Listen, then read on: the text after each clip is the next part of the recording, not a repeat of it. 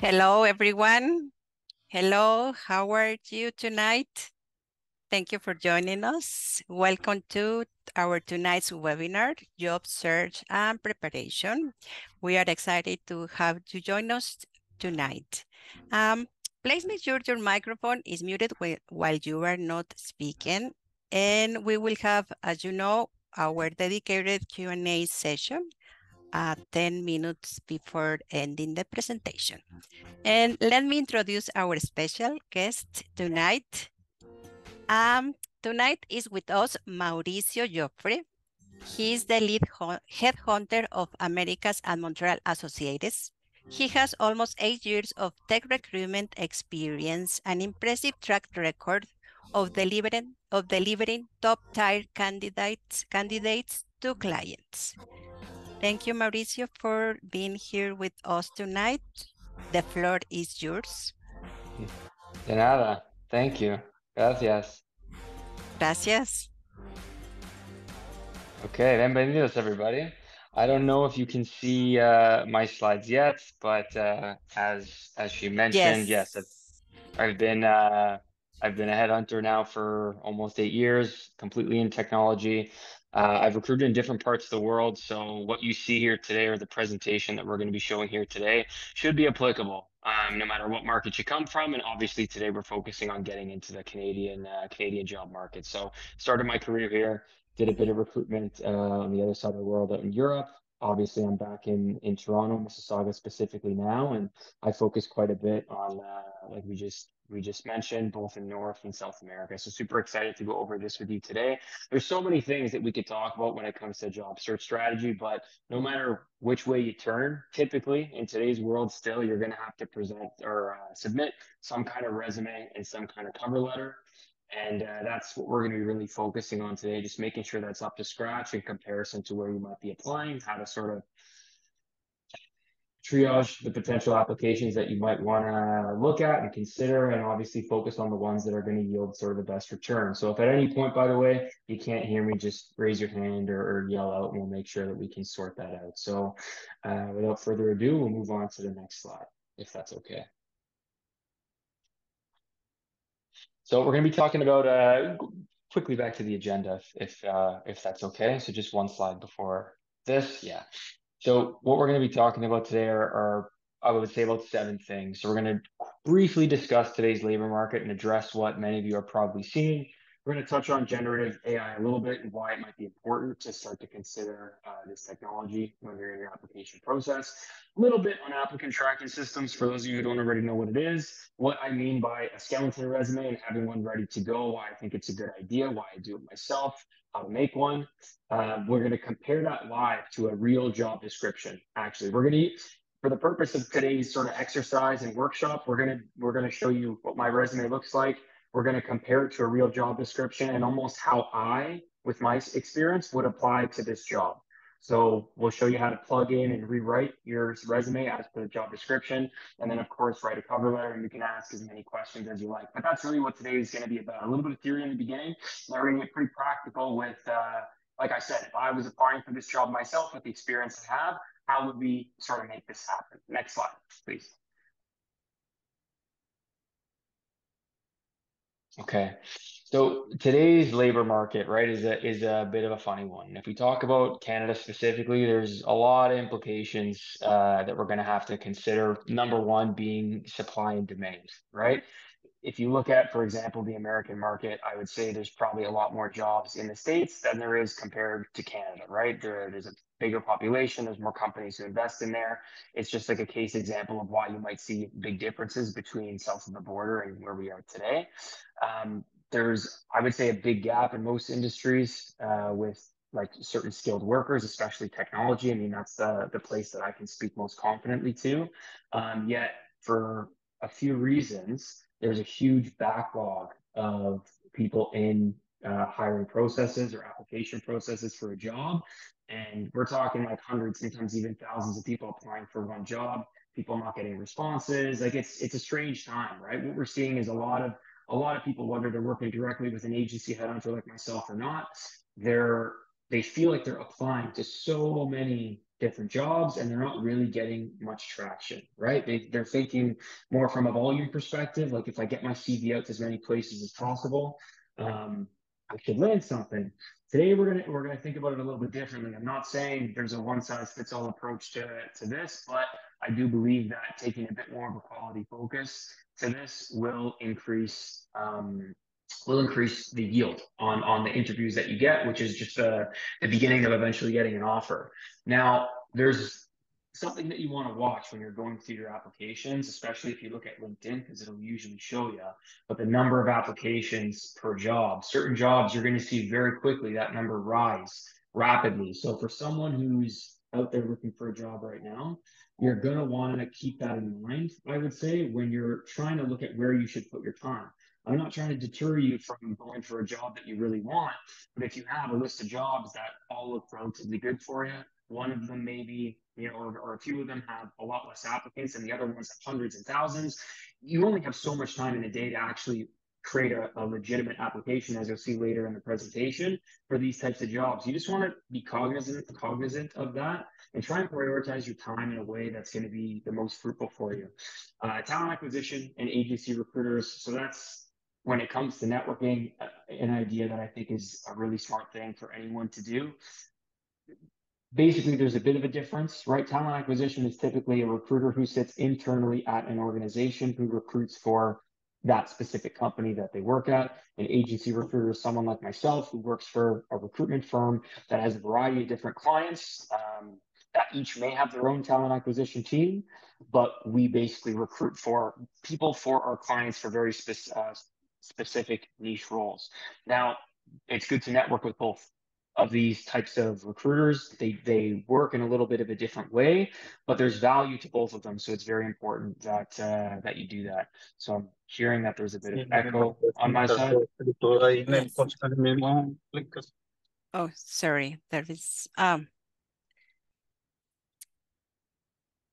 I think okay. every everyone is mute, but Mauricio, I think there is a little bit of echo. Yeah, is it any better now? Is it worse? Now, now it's better. Yeah, it's better. Oh, okay, cool, perfect. We'll keep it like this then.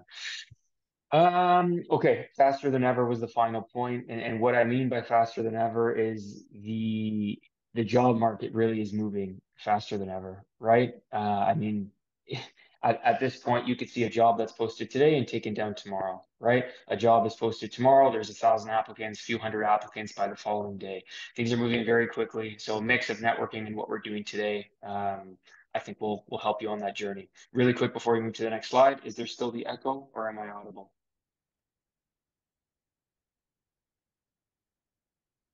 No, no I echo. think it's. Oh, no, no echo. Everything sounds no echo. okay. It's it's okay. Yes, okay. Perfect. Okay. Perfect. So really quick with generative AI. I am by no means an expert with uh, with this technology, but nonetheless, it is something that I think everyone's probably experimented with a little bit in, uh, you know, whether it's for fun, whether it's for their job. I mean, it's it's it's in our life right now, and everyone's using it for different things, right?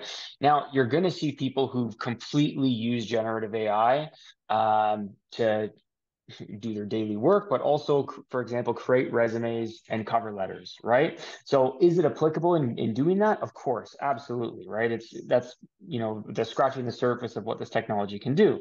That being said, why are we still having this session? Ooh, lost the slides for a minute.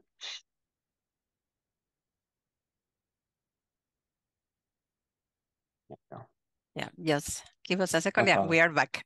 no problem. No problem. So if you can just go on, say, ChatGPT as an example and create a resume and cover letter, what's really the point in having this session today? Right. Everyone has a different level of experience with this technology, which means, you know, what you put in is is different than what the other person might put in and get out of it. Right. Um, at, at, the end of the day, if you're really, really good at it, you might get a better resume than someone who is still kind of learning how it works. So what we're going to do today is just reconstruct the whole logic behind what we're trying to do. And as you get better with technology such as you know ChatGPT, if you can incorporate that into what we're trying to get across today and speed up the process or improve it somehow, by all means, you can definitely do that. But like I said, understanding the logic behind what we're trying to do is going to help you eventually get to that point if you have no experience with it, right? Um, how can I leverage this to improve my application? In my opinion, so far, a lot of what it can do, I would say, is saving you time for things that are more tedious. However, you're always going to have to, or not always, as of right now, to the extent of my knowledge with this technology, it's still always good um, to review kind of what the output was and still make changes to make things more personal. In my own experience, when making resumes and cover letters using something like ChatGPT or a generative AI tool, the final product is technically what I wanted, but it doesn't have as much personality as I would like to get who I am across and what my skills are in a way that differentiates me from everyone else who might be applying. So in, in short, it gives me a good framework, but there's a lot that I still have to do to tweak it to make sure that it doesn't look maybe repetitive, as I could say. And, and that's really the biggest thing to be mindful of, where it can save you a lot of time, but it's not something necessarily, at least to the extent of my knowledge, that can be fully automated to the point where it comes up with this perfect finished product of a resume or a cover letter that speaks to who you are and why you're really, really good for this job without you making necessary tweaks here and there. And those tweaks, how big they are, really depends on your ability individually with tools like ChatGPT. Next slide, please.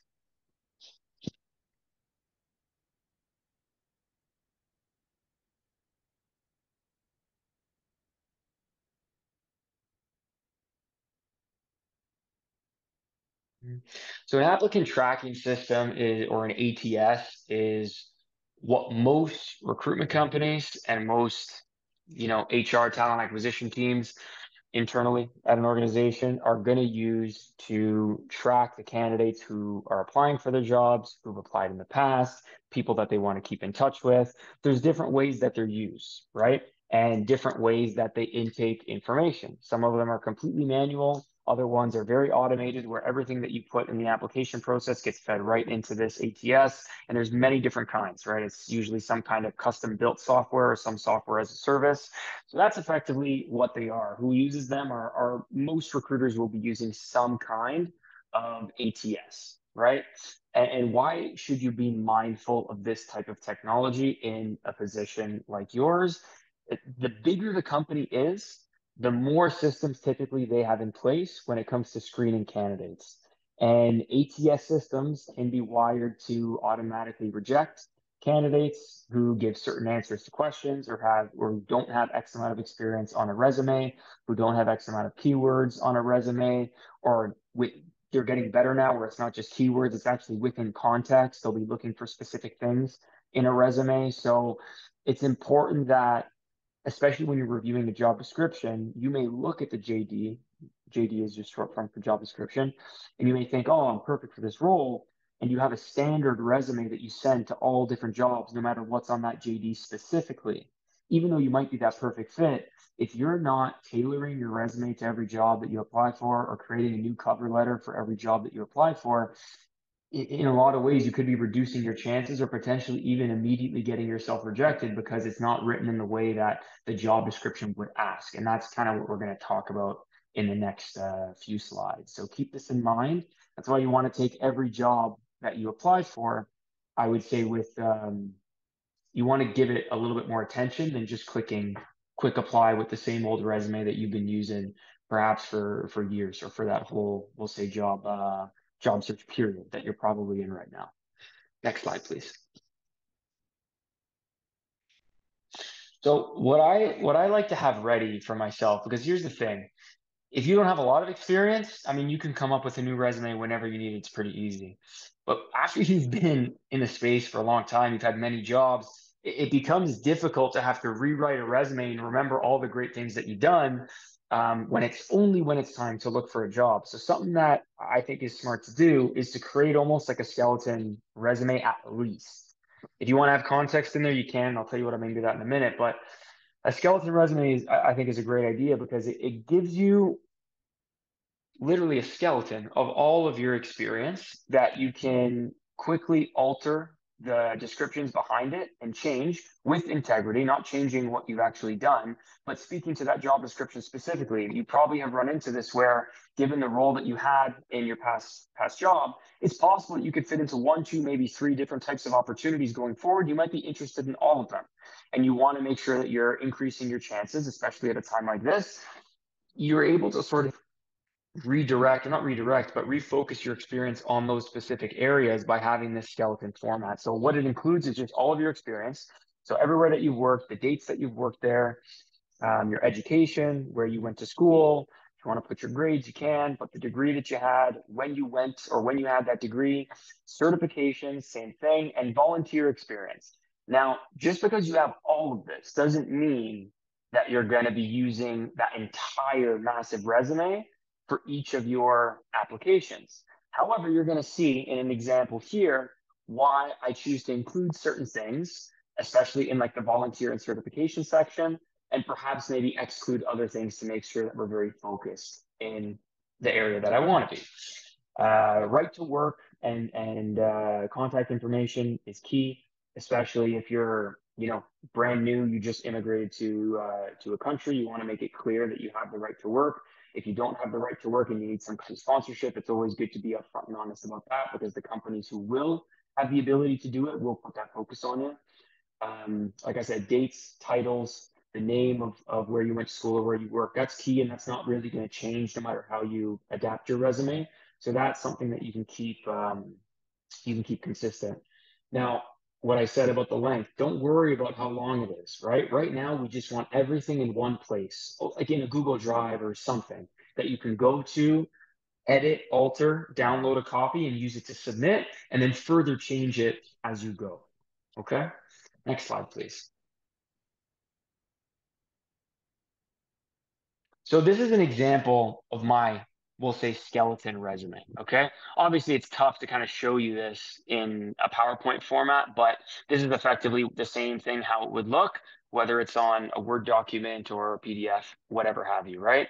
At the top, you see a profile section. I've left that bare because my profile line or my headline is something that, again, I'm probably going to change every single time I apply for a job, depending on what that job is all about after my profile where I'd have my headline, I'm going to have my experience, right?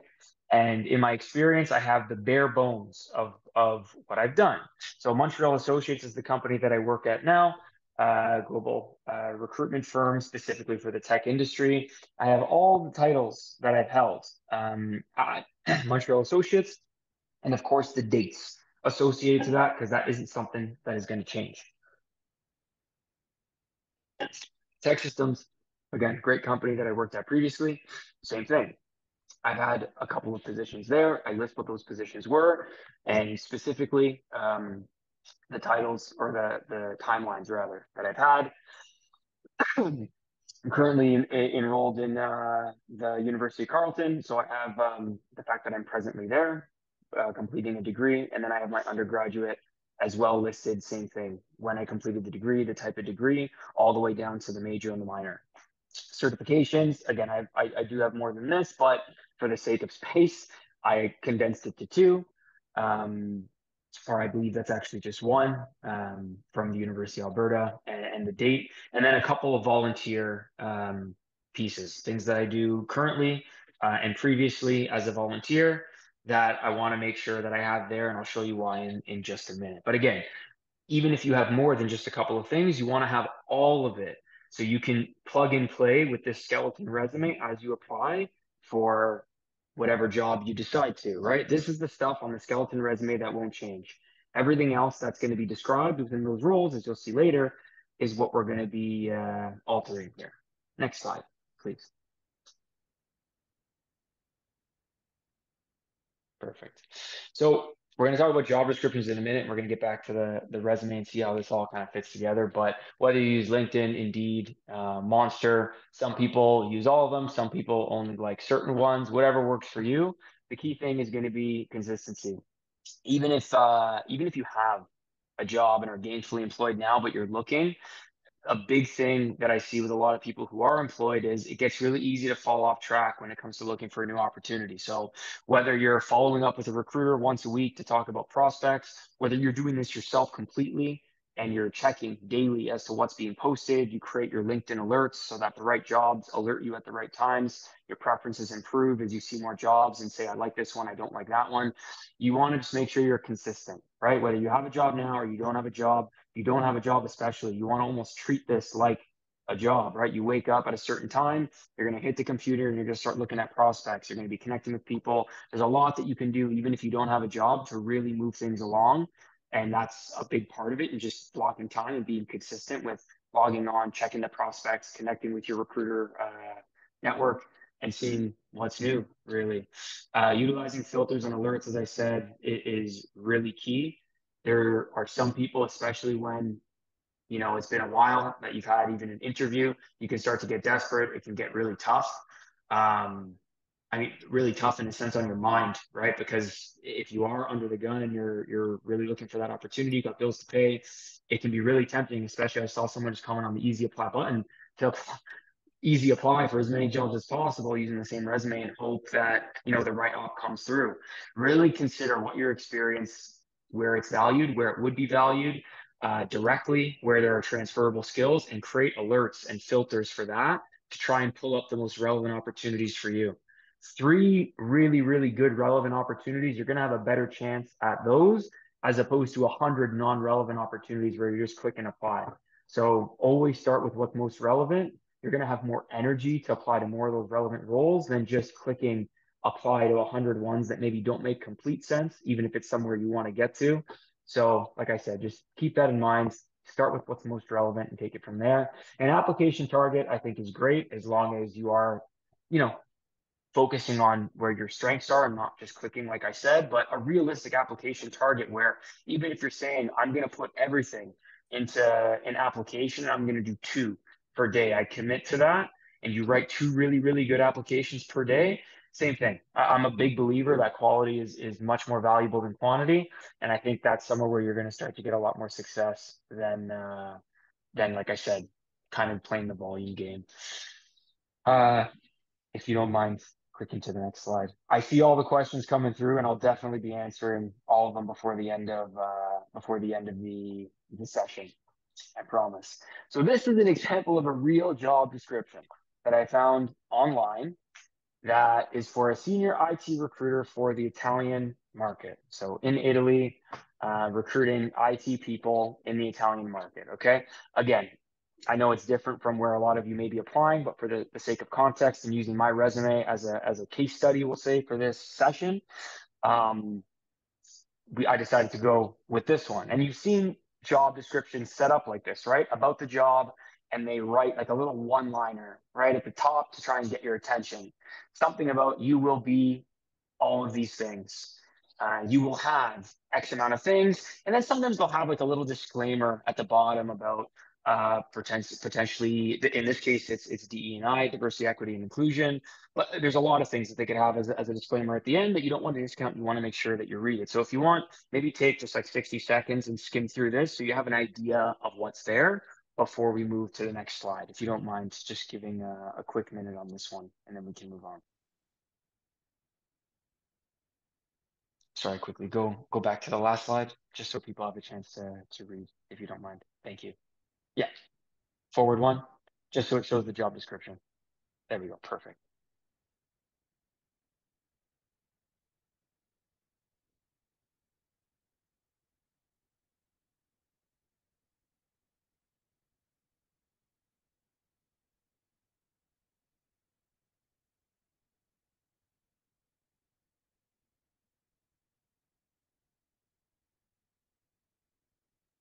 Vale, we can move on. Thank you. So what we're literally going to do, right, is take this line by line for everything that we just saw in what they're asking for, line by line, in every single one of my experiences, where can I speak to each of those, right? So if you take that first line, right, whatever it was, I would literally to start, we're not submitting a resume this way. This is just to organize your thoughts we would take that line that they're asking for and put it into that experience section. So if in my most recent role, I've done that, I'm just going to paste it there. If in my last role, I've done it as well, I'm also going to paste it there. My third role, I've done it here, paste it there. The fourth role, maybe not. I won't put it. The fifth one, if I've done that specific point, I would put it there. Same thing with every single point. And you can see how that can take up a little bit of time and not everybody wants to put in that kind of time. But it's much better to organize for exactly what they're asking for in the language that they're asking for and i mean language specific words that they're writing their jds where in your experience all the way down to however far you want to go can i speak in some way to that specific point? And you will do this with every single one of those points until what you're going to have is their words into your resume bucketed into each of your experience, education, volunteer, all of those sections, right? And what you're going to do then is rewrite effectively that point using as much language as you can, but within context for your role.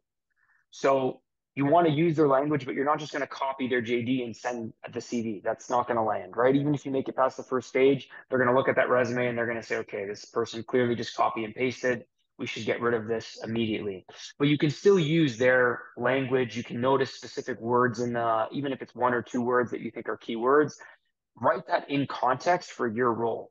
So apply it directly to your to your world, right? The better you can do this, even in the beginning, you may have a ton of points that you may have to cut down, but at least what this gives you is context in this company is looking for these things in a candidate. These are all the places where I have it. Okay, these two roles, it almost looks exactly the same. Maybe in this one, I can focus more on these points, and on the top one, I can focus more on those points. So you you got to play with it a little bit to balance it at the end. And this is what I mean by you could use generative AI technically and say, hey, this is my CV as it is now. This is a job description. Can you look at where uh, there's coincidence between two things and put them together and create me a new resume? You could do that. But at the same time, unless you're really good at prompting and all that kind of thing, it may not be exactly what you're looking for. So learning the logic behind what we're doing and why we do it to not only make it sound and look like very relevant to the JD, but also very personal and look legitimate and look uh, I don't know how else to say it, but look authentic, we'll say. That's where it takes a lot of practice and and and this type of CV writing can help you do that. Next slide, please.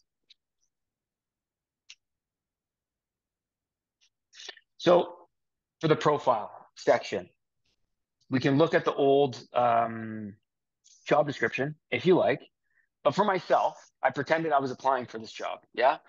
Uh, this is what I wrote as my headline, right? Now, people sometimes they write a whole ton of things in their profile, a bunch of bullet points. I've seen people's profile section one page. Personally, for me, as someone who reviews tons of CVs uh, per week, per month, per year, whatever, this one liner, if written well, is more powerful than a massive one pager of your profile. So I wrote, based on the original JD, a sales driven, dual citizen, Canadian Italian, this is true, with seven plus years of international agency recruitment experience. And if I were to summarize what they were asking for, I believe that that touches on everything, right? And what, what this is, the whole point of a good profile one liner is just enough to get them to want to read the rest of your resume.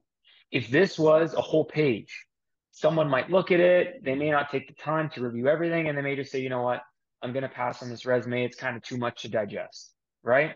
You want a lot of information there that speaks to the JD, but you got to take it in, in like bite size pieces, right? Um, it's got to be digestible and, and little by little has to make them want to read more. You can't lose the reader. And you have to think about some recruiters that are going to look at this, internal or agency, are going to be very experienced and they're going to know what they're talking about. But then there's some who are going to be brand new. And like anyone who's new at a job, they may not know what to look for and they may they may be looking in a, in a bit of a rudimentary way which you can't blame them for because they're learning but all the same you want to speak to something that is very clear very concise and i think anyone who's recruiting for this role who sees that might be enticed to to how do you say proceed and read the rest of the profile. Next slide please. Okay so now again, you may not remember what was written in the original uh, JD, but if you happen to remember after reading it, this is how I would then input this information into that portion of my skeleton resume. So you remember what that looked like, right? It was just the title. It said Montreal Associates, June 2019 to present, head of sales, talent solutions, Emerlatem, June 2021 to present. That's all it said with the rest of my job positions. Now, what I put or what I decided to put based off of what was in the job description is what you see here, right? So there's a lot of things here that are very specific to my experience, which is good because it shows authenticity that I actually took time to put my experience into the into the job or into my experience section. But if you look at the language, I tried to use as much language as possible that the JD use just in, in my own context, right? So in anywhere, did they say anything about the Americas, about Dreamforce, about Salesforce candidates, for example? No, they didn't. But within the relative context of each of their bullet points, I made it my own by using my own experience the best that I could, right? This keeps it very honest, complete integrity in, in what I wrote, but speaks to their job description specifically, point by point by point. And like I said, you would do this for every single one of your experience sections that you have. Even if it means one of them you only have a couple of points, work with what you got, right? At least the points that you have there are going to speak well to that JD. Next, uh, next slide, please.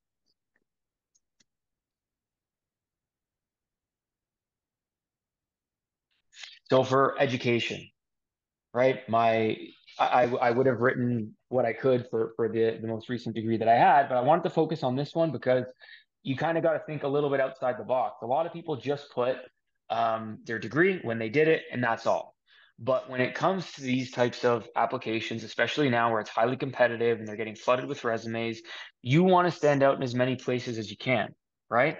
So instead of just kicking, clicking quick apply at a job that looks like it's okay, I read through the JD, right? And what are they asking for here exactly? They're asking for an IT recruiter, a salesperson to work the Italian market, right? I'm someone from Canada or who's living in Canada. While I may have an Italian citizenship that makes me eligible to work there, luckily, do I know that market? Have I shown an ability to adapt to that market? Do I have anything tangible to show that I'm better than you know someone else who already lives there for this type of job? I mean, Potentially not, potentially yes, but potentially no, right? So something else that I could do, just given where I studied and adding some context past uh, past this, you know, my experience, I did happen to study international business with a minor in Italian studies when I was in in university. So I majored in international business. I took part in a three week school tour, like a study tour in Southeast Asia. Um, very quick to learn how businesses conduct uh, their operations internationally. Is that going to be a game changer? No, but that in conjunction with my experience could very well have a bit of a pull on, hey, this person has seen a couple of things. You know, they're they're young, they don't have a lot of experience, but you know what?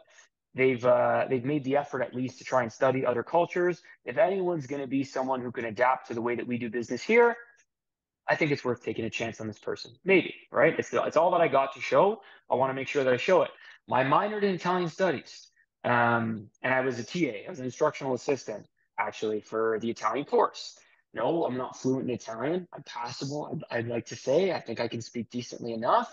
But moving to a place where I'm going to have to speak that language, I have to show them in some way. If I can't say I'm flat out fluent, like professionally, this is what I've done to try and learn the language best I can. And it's on my resume, and here's what I have to show for it. Next slide, please.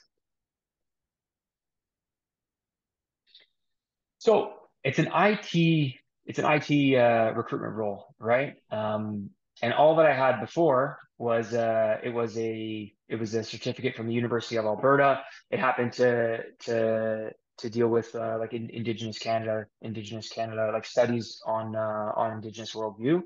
Now, for specifically for recruitment, for tech recruitment, I felt what was most relevant, or the certifications that I had that were most relevant. I'm not saying I wouldn't list that cert, but two things that I wanted to highlight here were uh, two things that I think speak more directly to that JD.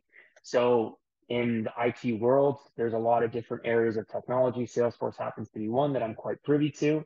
Now, while I recruit um, those type of IT candidates, specifically who are in that Salesforce world, um, I've also done my due diligence in doing some of their certifications myself, one of them myself, just to understand that technology a little bit better. Now, when a recruitment company sees that you have an experienced recruiter who's gone above and beyond to try and learn the technology that this person would work in, hey, that's a pretty relevant certification to put on your resume. And think of things that way where maybe there was something you wouldn't include that has nothing to do with recruitment, the direct job that I work at. However, could it show that I've gone above and beyond to try and learn more about the space that I'm jumping into?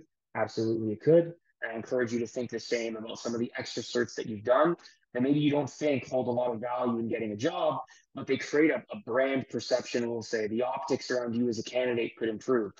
Um, I did a course in international labor law as an agency recruiter. I mean, it's not incredibly important, but could be interesting for the company in in Italy, as I showed you, that's looking for a recruiter to work their market right? Again, just something to differentiate a little bit that looks like it could be in line with the person who would assume that role.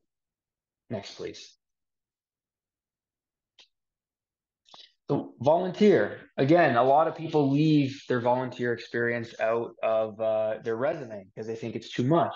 And sometimes it could be too much, right? Depending on what you put. If everything that you put in your experience is geared towards that job, then I mean, you could have a pretty long resume as long as the person's interested in continuing to read it. That's really what the important part is. It's like when I talked about the profile section, that first one liner is just to get them to keep reading. That's all it is. It's not going to get you the interview right off the bat, but it's going to get them to say, hey, I want to read this person's experience. Oh, I wonder where this person went to school. What else have they done outside of school and work that you see what I mean? Where it gets them to keep wanting more until they finish the resume. And the only thing that they can say is, when can I interview? This person, right? So one of, one of the places that I happen to volunteer, again, this is all 100% truth, right? In comparison to this JD, um, there's an organization in Toronto that promotes. Um, so Calabria is a, is a region within Italy. It's the region that my my uh, my dad's family's from, and I'm involved in a non-for-profit as a board member, promoting um, people to rediscover and reconnect with their Calabrese culture. We throw all types of events supporting different non-for-profit initiatives in in the Toronto community, and we do what we can um, to try and to try and do that. Again, that's something where if I was applying to a job in Italy and they see immediately Calabria as one of the the the places you know or the comp or non-for-profit rather that deals with this type of culture in my volunteer experience, it could be something that catches their eye right? And at least gets them to want to read more. And that's what we're trying to do here. You remember the disclaimer at the end um, that I mentioned about diversity, equity, and inclusion. That's not a requirement in the role. That was just telling the applicant that we abide by these practices. Clearly, this is an organization that takes it seriously. Well, in my last role, actually, I was a volunteer at my own organization to be part of our diversity and inclusion committee, diversity, equity, and inclusion committee to organize trainings and events for our staff um, so that we could abide by those same principles, right? So it was called the Kaleidoscope Committee. I was I was a, a part of it for for a chunk of time, and that's something where no, is that going to get me the interview right away? No, but it's something that would speak to the person who wrote that job description and is looking for a candidate who embodies those values not something that people would think about right away. Oh, this is something really key that I want to put on my resume. It has nothing to do with IT recruitment, but we're reading deeply the job description, and that's something that speaks to their values. And if all you had are these two pieces of volunteer experience, I think it's a really nice compliment for uh, you know the prior work experience and education that I showed you before. Next, please. So, with a cover letter, um, a little bit, I, would say, to be honest, a little bit easier than a resume. And, and 100%, I would say you want to be making a new cover letter for every single job that you apply for, right? The easiest way to start doing this, and I, I've gotten interviews at companies that traditionally, I would say, are, we'll say organizations, not really companies, but organizations that are traditionally known to be very difficult to, to get interviews at. And I use this approach uh, in in getting it. Everything was was very honest. Everything I didn't lie at all.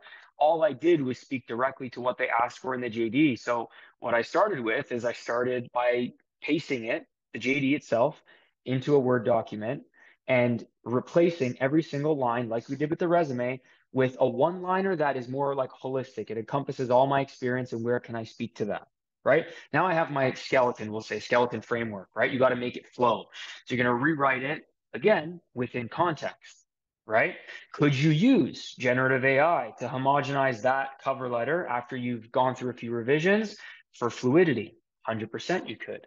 Could you paste it? Could you paste your resume in, in uh, ChatGPT, paste a job description and say, hey, can you use my experience to write a decent cover letter? right? Uh, for for for me, given this job description, absolutely you could. And I'm going to show you what one looks like right now. Go to the next slide, please.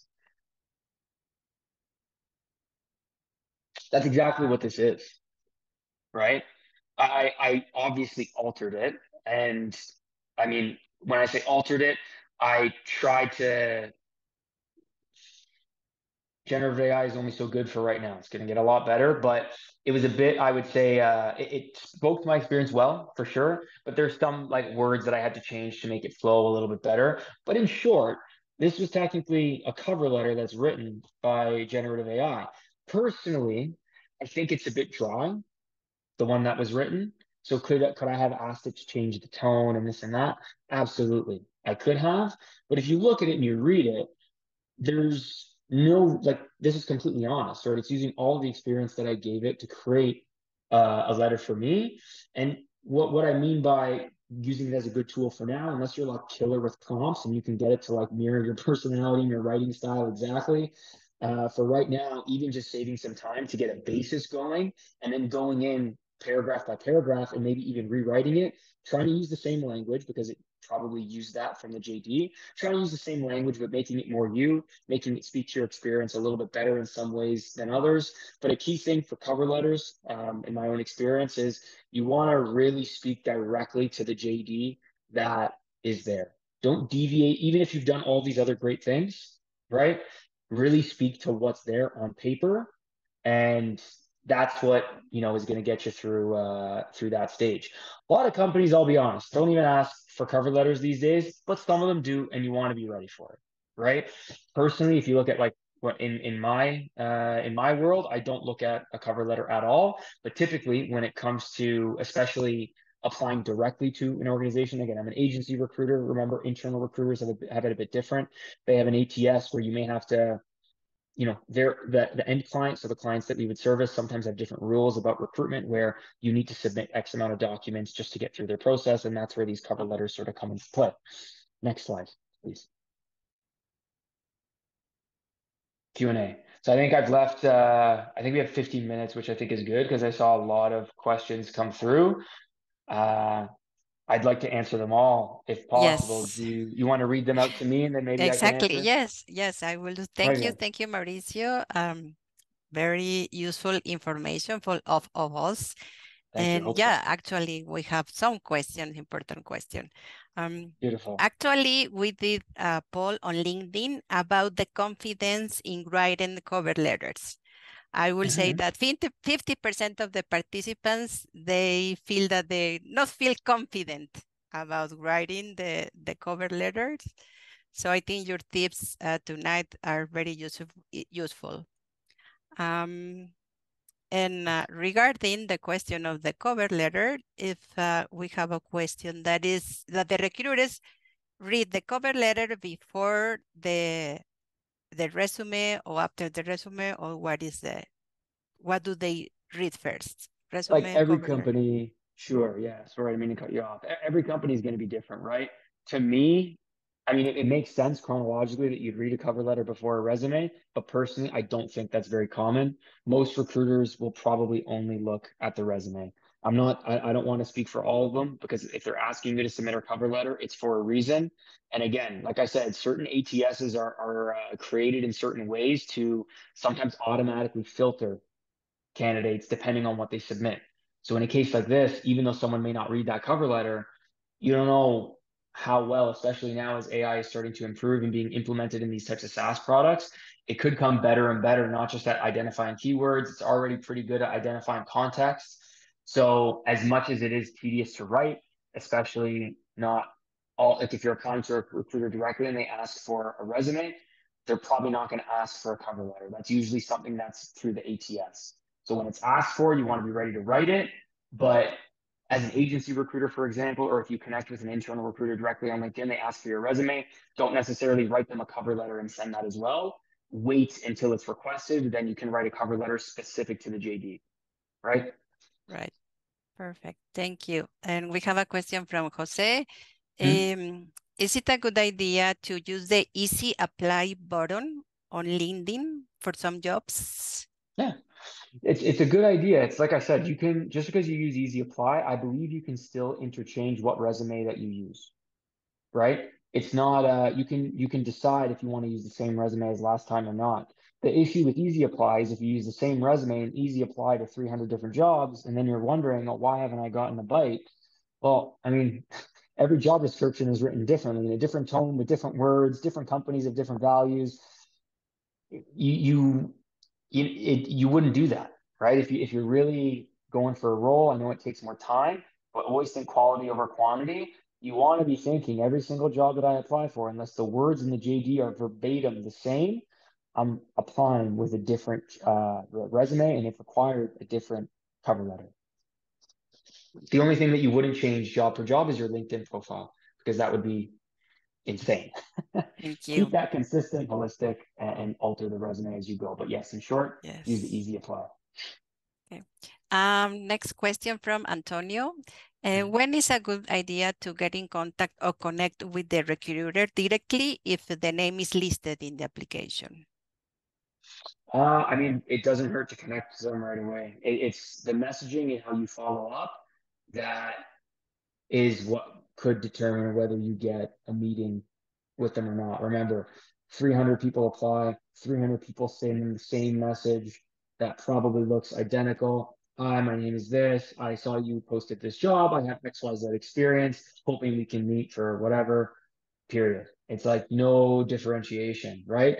To me, if I was applying, would I reach out to recruiters directly? A hundred percent I would, but I would probably not be using that type of follow up. Now, how you craft your outreach to a recruiter is probably a bit outside the scope of, of today's uh, session. We could talk about this for a very long time, but being a bit creative and using, you can, on your phone, if you have LinkedIn, you can actually send a voice note.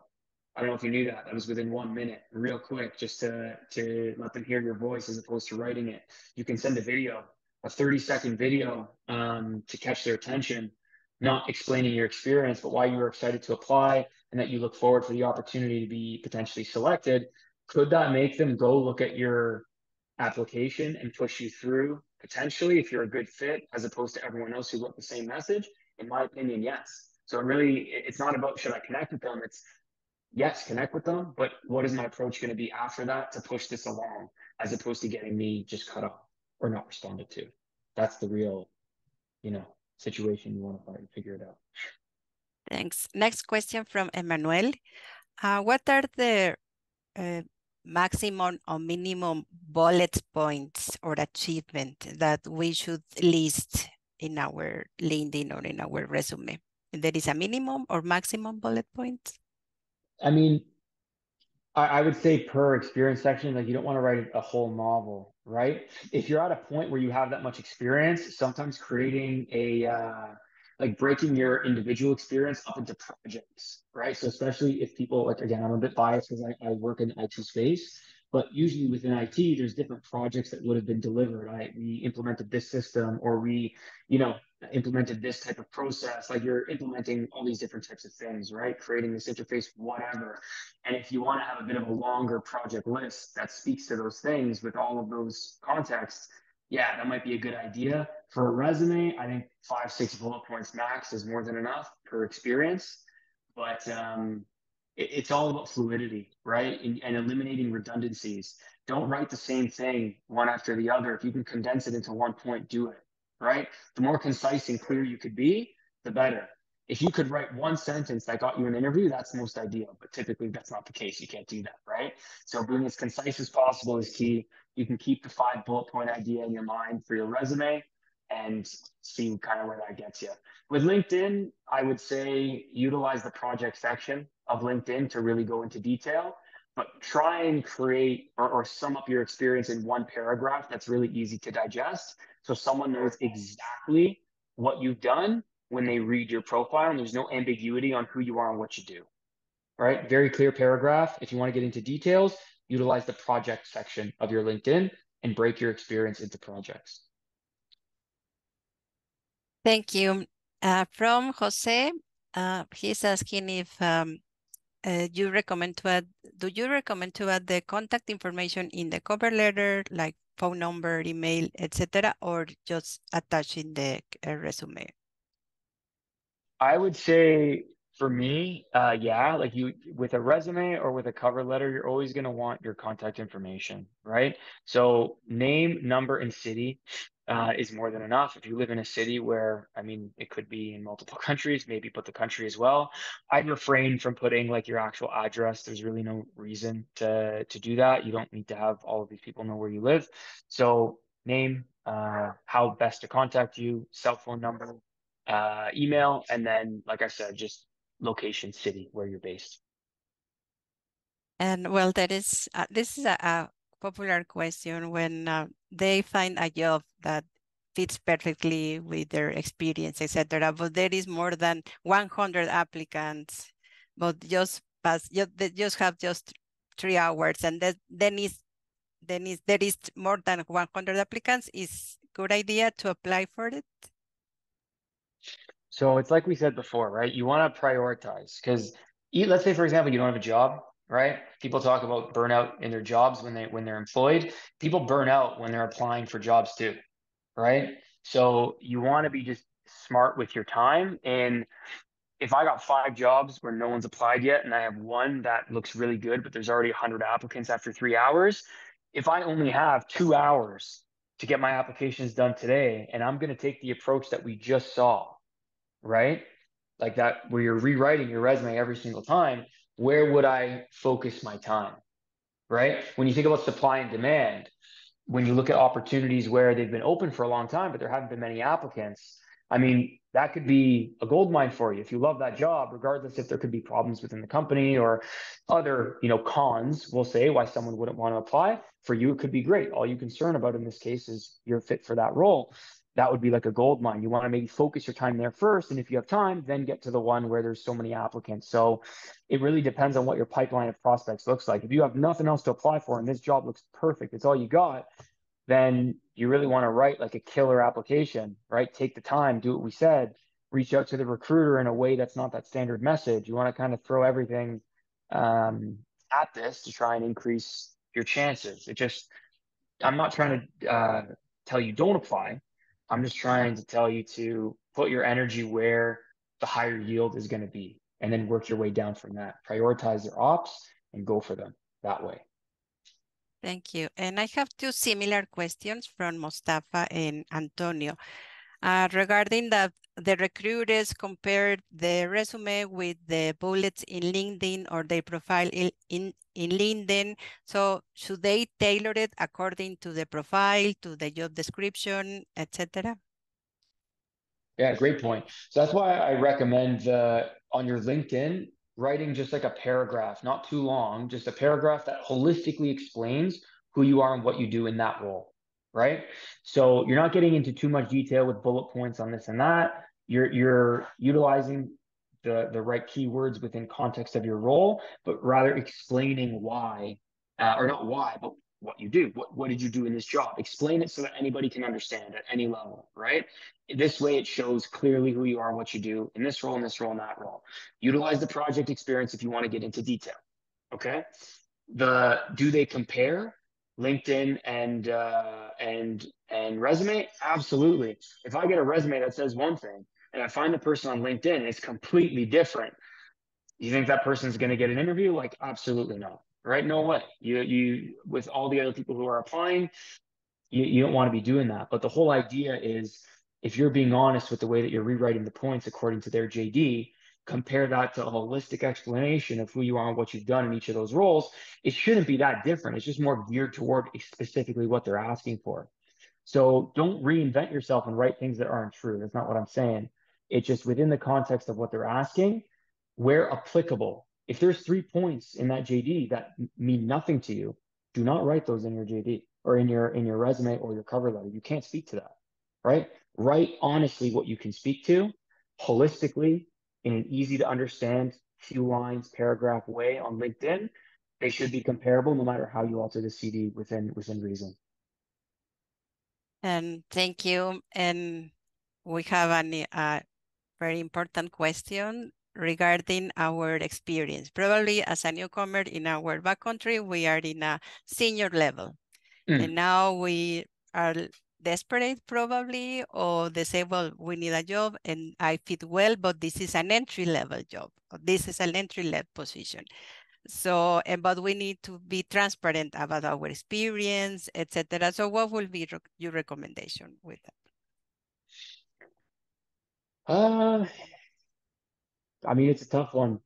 Different markets, like I, I, I've talked to a lot of people recently in this sort of situation. Like they've recently moved or looking to move to an organization or, or uh, a new country rather, and depending on the industry that they're in, it could be a lot easier for them. The industry that they're in and the country that they're going to and the value of that industry in that country can depend on how easy it is for them to get a same level role or a better role, right? As opposed to, like you just said, where sometimes you have to take something a bit more junior because you're in a position where, regardless of my career, I still need to put food on the table.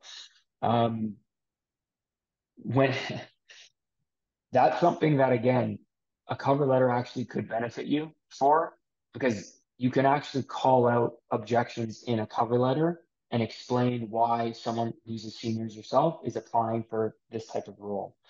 However, again, assessing the value of your specific industry, the industry that the job you're you're looking to get is valued in uh, in the country that you are now moving to.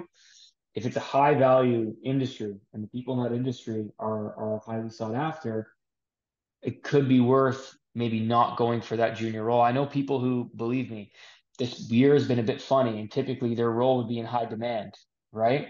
But instead of taking a junior role uh, that would reflect on their CV where they worked here, they take like a like a smaller, you know, like a part time job even just to keep the lights on on the side, where it gives them opportunity to still apply for opportunity that's in line with their career, makes them a little bit of money on the side, and that's just something that they won't mention on their resume, right? They're not going to necessarily mention they were bartending in evenings, right, for mm-hmm. five months while I was waiting to become a product owner, as an example. But they had to do what they had to do to make it work. And by holding out for a time when the market was a little bit better, they ended up finally landing that opportunity, right? So there's no like clear answer as to as to how to go about doing it. It's very individual. It's very dependent on uh, the industry within the market that you're going to what you were doing before. It's tricky. I'm sorry. I don't have a, a clear, you know, one size fits all answer for you there. Thank you. It's a, I know it's a difficult question. And there is another popular question. So if we get a recommendation mm-hmm. um, uh, from, from someone within the company that we are applying, is that good? Is really valuable? Um, yeah. Sometimes that's an automatic interview. At a lot of companies, if somebody internally refers you, it might take a little bit of time. It may not happen tomorrow, but referrals are always gone to first. So if I work at Montreal Associates and you want to work there and I know you really well and I think you'd be great, directly I refer you for the role. It's like you're getting an interview, right? It's it's that easy sometimes. The only reason I think you wouldn't get an interview is if something changes within the organization and the position closes, nobody knows about it, and there's just a bit disorganized maybe internally. Otherwise, if the position is valid, it's still open, they don't have a candidate, and you get referred, you can expect an interview for sure. So leverage that. If you have a network of people who want to help you, people who can refer you, that's like numero uno. yeah, thank you. Though well, we have um, uh, more questions, but yeah, we, please, are we are running out of time, so we will um, ask you two more because uh, we want to have a photo group and you guys will receive the poll and you need to say yes to the photo group before be before taking it. So the last two questions, um, how do you know about the hidden job market or the positions that are not published on LinkedIn? Uh, so that's 100% networking. So when you look at the hidden job market, normally like when you look at a what we would call one of our clients so i work at a recruiting agency right we have clients they come to us and they ask us for to find them people the companies that ask us sometimes we'll have like a very standard process to try and, and make things fair where they have to post a job for two weeks they look at you know all of the applicants and then they make a decision if they can't find anyone then they can go to like an alternate source right i'm not you know, sometimes it's very possible that these, I'm not saying all of them do it, but I know for a fact some of them have done it where they already have a candidate in mind that they want to hire, right? But they have to post it for two weeks just to let the posting expire to say, oh, we didn't find a suitable candidate. We happen to have one from our network. We want to hire this person, and that person gets hired. Everyone else who applied has no idea what happened. But that's an example of like the hidden job market where from someone's network directly internally with the company hiring, they had the job. I don't want to say locked down, but they definitely had a pretty good head start where everyone else who applied effectively is for nothing. Now, I'm not trying to discourage you in saying everyone does this, right? But at times it can happen, and that's an example of it. For us at a recruitment agency, right? I've recruited on the permanent side, so permanent recruitment, permanent jobs, and now I recruit mainly contractors, right? From a permanent perspective, part of my job is simply just like understanding who's on the market, who's really good, all that good stuff. I get a job from my client who doesn't want to post this online anymore. Maybe they posted it for two weeks as an example. They pulled it down. We're going to send this out to agencies. I'm not going to post this online if I can avoid it and have people apply. I'm going to go to people that I know are really good and I'm going to call them and I'm going to say, hey, this is why, you know, opportunity that I have for you. You know, we know each other really well. What do you think? This is what it pays, all that good stuff. Do You want to have a chat about it?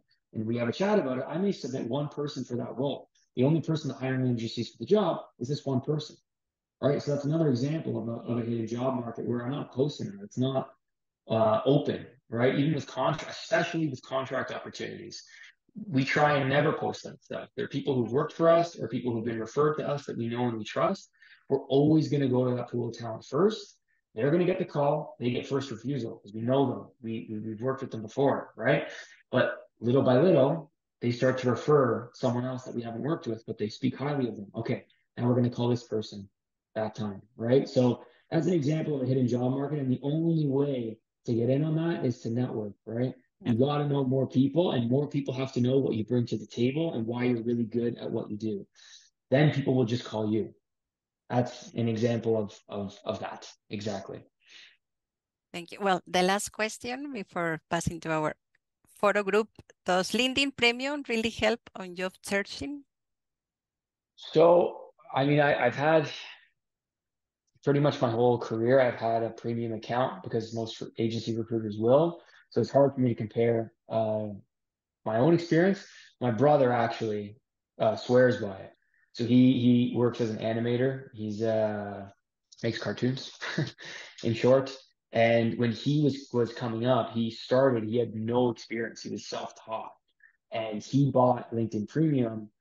Like this must have been 2016, I guess. No, yeah, probably about 2016. Right, is about when he finished school, and he told me he's like, man, I I can't believe the value in this. Like I'm able to connect with more people, message more people. I couldn't verbatim tell you like all the benefits of it, but from his perspective, apparently it helped him a lot in landing his first gig. It was actually ended up being with with Snapchat. It's the first place that he worked.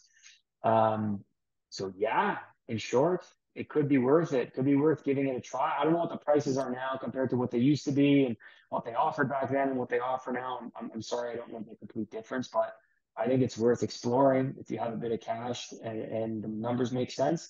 Give it a try for a month, see the value, two months, one quarter. If you like it, keep going. And if not, um, try something else. Thank you. And when just a petition for you, is it possible for you to read the other questions and answer them and send us the, your answers back? Yeah, of course. Oh, I, I perfect. I don't want to lose them. Is there? I gotta see this chat. Where did we cut off? Uh-uh. Can I can I post to this chat uh, when it closes or no? Will I be? Oh, I, we, we will send you the the comments and the questions. Oh, and then you Perfect. and you you can answer it and get them 100%. back to us. 100 mm-hmm. percent. I can do okay. that. Absolutely. Yeah, perfect. Because there are like probably six or more questions, but we are it's uh, now 706. And uh, so we have our poll first and our photo group.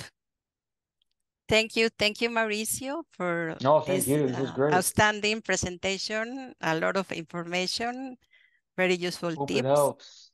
Hope it helps. Definitely. And um, for sure, uh, our Hispanotech members, they will get in contact with you through LinkedIn. Please, please, Thank it would be you. great.